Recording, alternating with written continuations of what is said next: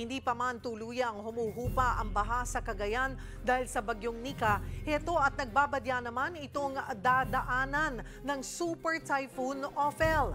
Para sa update, live na magbabalita si Brian Basa. Brian, nasaan ka at kumusta na ang panahon dyan ngayon? Nandito tayo ngayon, Cheryl, sa bayan ng Santa Ana sa Cagayan. Sa mga oras na ito, ramdam na ramdam na ang hagutin ni Super Bagyong Ophel. Makikita niyo sa aking likuran, napakalakas ng hampas ng hangin at napakalakas din ng uh, buhos ng ulan. I will try to flip the lens for you just so you can see what's happening here. Ayan po ang itsura ng alon sa mga oras na ito. Malakas at naggangalit.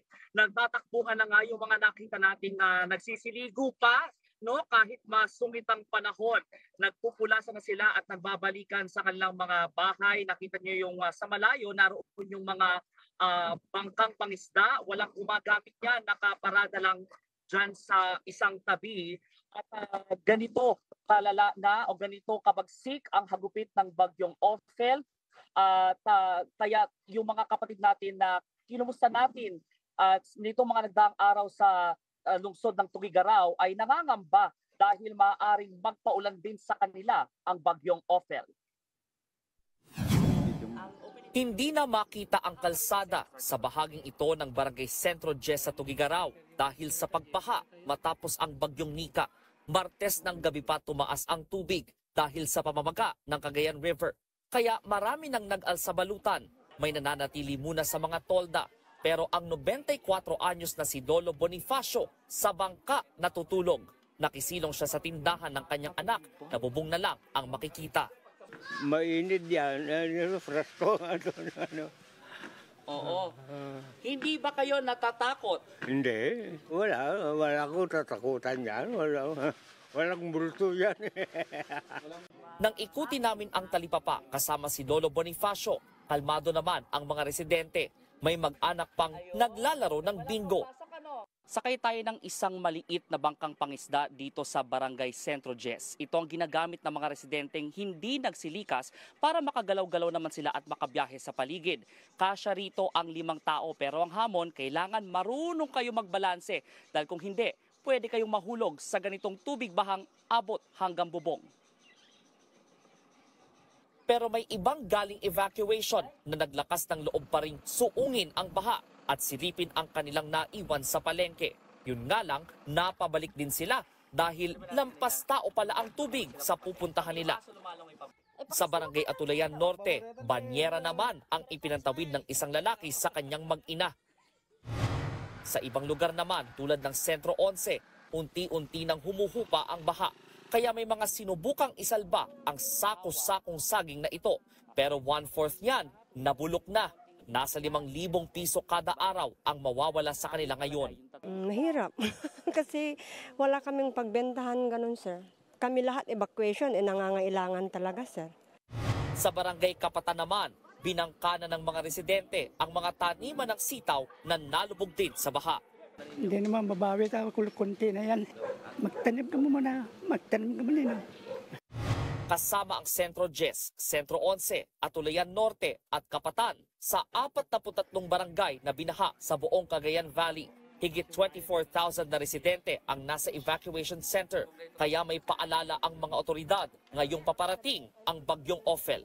Lalo lang yung mga nasa tabing ilog ano, na ngayon ay nakalubog pa yung mga kanilang tahanan ay uh, maaaring uh, sa evacuation center muna sila sa ngayon.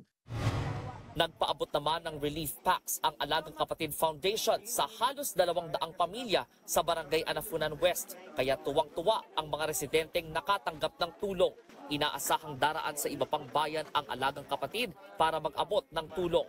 Kaya naman sa mga gusto pang makiisa, pwede kayong mag-message sa Alagang Kapatid Facebook page.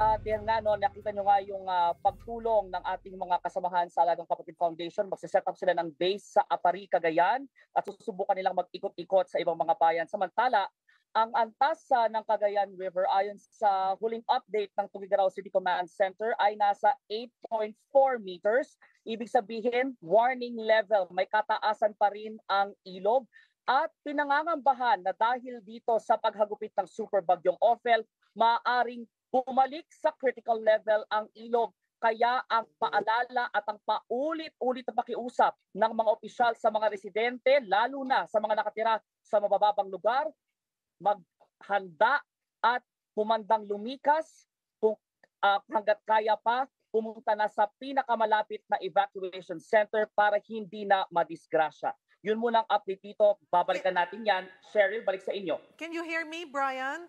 Pwede bang... Yes, I can hear you. Okay. Pwede bang umikot ka, walk us through, tingnan, pa- ipakita mo sa amin yung itsura dyan ngayon. Although nakikita na namin na talagang ah, medyo may kalakasan na yung, yung hangin na dulot nitong bagyong Ophel, ano?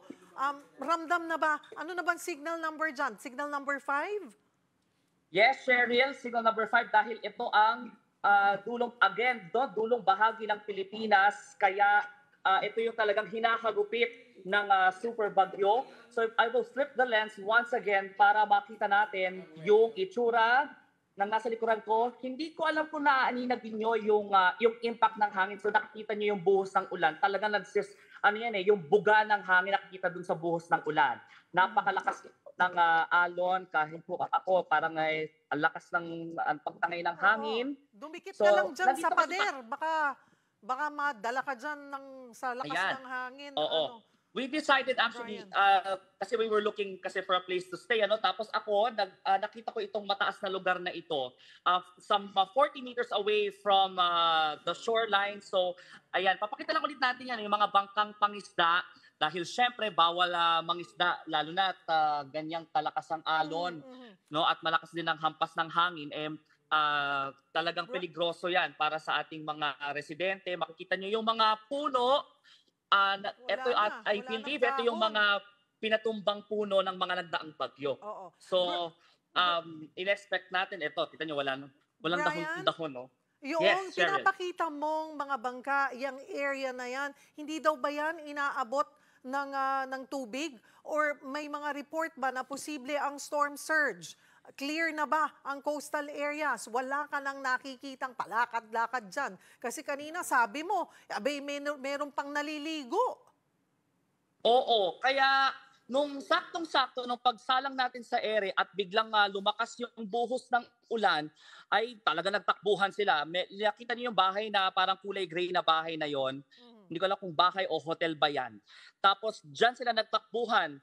Ah, pagkatapos nung ah, pag ah, hampas nung ah, yung hagupit nung super bagyo.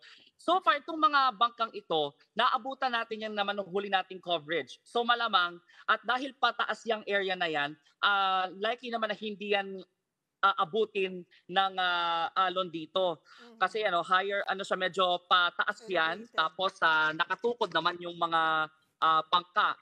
Kaya inaasahan na medyo ligtas naman sila diyan. Ah, itong uh, itong ministry natin ah, ang ang sabi, ito raw ay ah, parang na, nasira nung bagyong Marse pero agad naman silang nakapag ah, ah, restore, agad silang nakapag ah, kumpuni ng mga sira dito sa establishment nila. Pero ayan, makikita nyo yung sumasayaw na puno. Ayan, kasi yung iba, di nyo na makikita kasi wala nang takon. So sanga na lang yung sumasayaw. O, so ganyan kalakas ang impact ngayon at ah, actually hindi nga lang nakita baka naririnig nyo pa sa aking mikropono yung hampas ng hangin Cheryl ano? So yan ang itsura no ng ah, super bagyong Ophel signal number 5 o mak- medyo lalayo tayo ingat lang tayo ng konti ha kasi ito yung metal structure nung parang ano cottage ba to? Ito medyo nagsusway siya o kaya eh, mabigat yan. Kaya yang pasayawin ng hangin Oh, Mhm. so Okay. Ayan, ganito po kalakas. Kaya sa mga residente po, lalo na yung mga, ah, gaw- alam nila na gawa sa light materials yung kanilang bahay, na pwedeng liparin yung bubong, tulad ng mga nakikita niyo sa mga previous coverage natin, muli ang paalala talaga, evacuate, evacuate, evacuate. Seek Mhm. safer ground, seek higher ground hanggat kaya. Kaya po tinawag na preemptive evacuation yan, preemptive uunahan po natin ang impact ng bagyo. Mhm. Although ngayon, andito na yung bagyo, di ba? So, mag-evacuate na po. So lahat ng dapat i-evacuate ay na-evacuate na. Forced evacuation na. Dapat ang ipinatutupad. Kasi nasa signal number 5 na kayo eh.